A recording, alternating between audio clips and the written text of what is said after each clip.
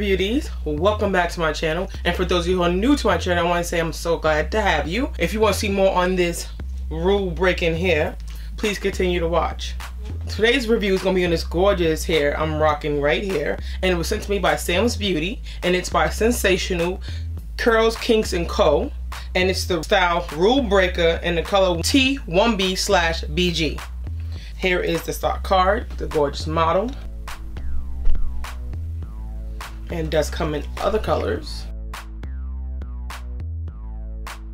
It's a coily 3C slash 4A curl pattern, textured lace wig, hair you love to wear, tailored textures and premium fiber. I saw this wig, I've had it for some time. I just haven't got around to reviewing. I've been so super, super busy, which is a good thing. trying to bring you guys some contents that you really want to see and, you know, come up with different things or different looks or whatever so I hope you guys do like this one because I actually do like it. This one is really big, so if you like big hair, you would definitely love this. And it obviously gets bigger. I haven't really cut any layers into the frame of my face other than a little bit of the bangs because you guys already know I really don't like too much bangs in my face.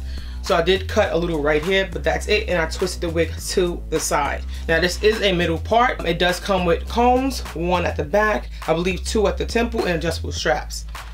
As far as big head friendly, it is super big head friendly. I still have a little room in here, surprisingly. It's absolutely soft despite the fact that it looks like a lot of hair. It is soft, it's lightweight. And I think it's perfect length for the summer.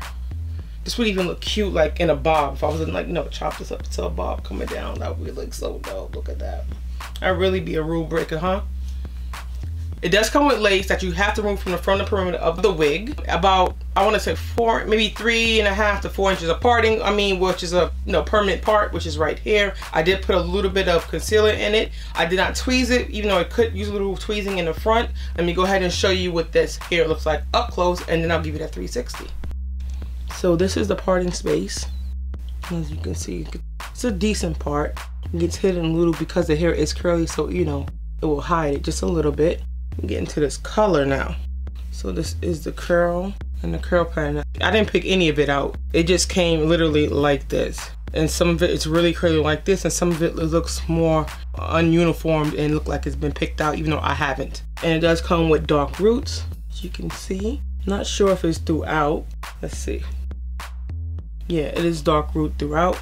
So let me go ahead and give you the 360. So obviously the front. Hold up, hold up, hold up, hold up, hold up, hold up, hold up, hold up, hold up. Yeah, yeah. She love the way I'm doing it. Do it. So good she won't put my tattoo on it. So that is the specs on this hair. Pretty much is all pros. I don't really have any cons for this wig. I do love it. I want to say thank you to Sam's Beauty for sending me out this wig. I really love it. I love it. I'm gonna rock it this summer. Let me know what you guys think about the wig and if you purchase it what you like about it. All information for this wig will be down in the description box below so don't forget to check that out along with the link to purchase. Please like subscribe comment and share and as always stay fabulous and be your own vision of beauty. Till next time bye. Say hey don't we do this every day i work them long nights long nights to get a payday